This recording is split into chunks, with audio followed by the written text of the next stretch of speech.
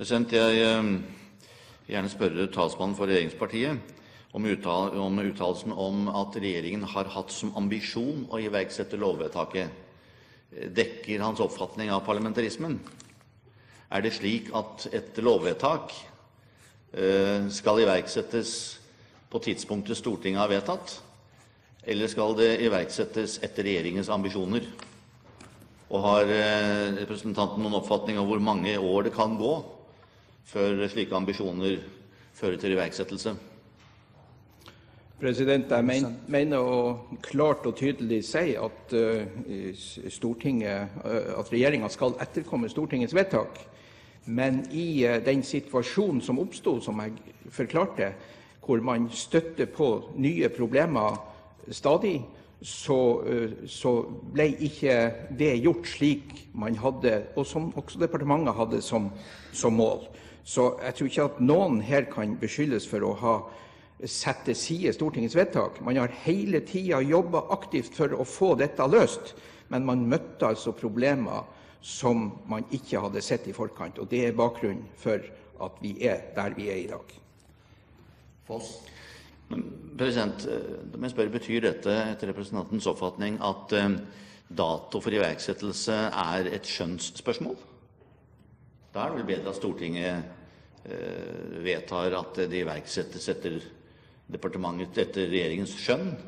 Det vil være en litt underlig formulering president, i et storting. Men det er det representanten nå sier, at dersom man møter på problemer, så kan man ta den tiden man trenger for å iverksette et lovvedtak. Og der vil jeg spørre om, Er dette i tråd med oppfatningen av parlamentarismen, at den makten til å vurdere Stortingets vedtak er flyttet til regjeringen etter dette? Arnsen? President, Svaret er nei. Det er ikke et skjønnsspørsmål. Men det, her oppsto det uventa problemer. Og jeg må jo òg få vise til at både tidligere statsråd Bjarne Håkon Hansen og nåværende statsråd har sagt at eh, man burde vurdert å komme til Stortinget og bedt om en utsettelse av iverksettelsen. Og Det syns jeg er en, en, grei beskrivelse. Her har det oppstått ting som ingen hadde ønska. Alle hadde ønska at Stortinget skulle få, eh, få saker eller at vedtaket skulle bli gjort i tråd med Stortingets vedtak. Og det mener jeg at uh, regjeringa ikke kan beskyldes for å ha uh, drevet på med noe, noe, noe, noe skjønn eller noe uh, ting her som ikke Stortinget skulle vite om. Etter forretningsorden så er det adgang til to replikker. Nei, president, det var etter den gamle forretningsorden. Hvis Stortinget har vedtatt ny forretningsorden etter det, for det som gjelder denne perioden, og det er ingen begrensning på antall replikker. Da får eh, representanten Foss får replikker. replikk til. Så. Ja, president, da må jeg si at, at eh, jeg ikke skjønner hva talsmannen egentlig nå, nå sier. Man sier at uh, departementet har arbeidet uh, med saken hele tiden. Men det tok altså halvannet år før daværende statsråd Bjarne Håkon Hanssen tok det første initiativ for å sjekke om, vedtaket var iverksatt. Eh, å si at, har, at, man da har jobbet hele tiden, er kanskje i overkant. Men jeg får spørre representanten, ser representanten noen grenser for hvor lenge en regjering kan vente med å iverksette et, eh, et iverksettelsesvedtak med dato? Her har det altså gått ca. tre år. Ser representanten noen, noen grenser? Slik han definerer den nye flertallsparlamentarismen? Arnsen.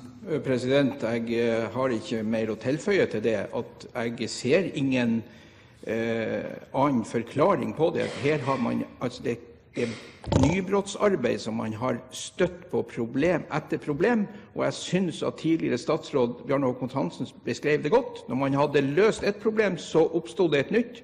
Og så sier man at med bakgrunn i det man vet i ettertid, så skulle man ha gått tilbake til Stortinget og bedt om en utsettelse. Det ble altså ikke gjort. Og jeg syns at uh, uh, når vi nå har saker, så bør det være en uh, grei redegjørelse fra regjeringas side. Dette er kompliserte saker som vi heller ikke kan gå til våre naboland eller andre land og finne løsninger på. Så jeg, jeg, har, jeg gjentar igjen at regjeringa har ikke hatt noe ønske om å drive noe lureri i denne sammenheng. De har jobba iherdig for å finne løsninger, og det er de nå i ferd med å få helt og klart på plass som de første. Per Kristian Foss. Men president, Jeg har ikke invitert til noen, noen spekulasjoner om regjeringens motiver. Men jeg har bare et enkelt spørsmål. Ser representanten ikke noe kritikkverdig i at Stortinget ikke blir meddelt at Stortingets egne lovvedtak ikke er iverksatt? President, jeg ser i ettertid at, vi, at regjeringa skulle ha kommet tilbake til Stortinget, burde ha vurdert å komme tilbake til Stortinget med eh, en melding om situasjonen. Det er altså ikke gjort, og det har eh, man også sagt fra statsrådenes side. Så eh, jeg syns det må være en klar beskjed fra vår side.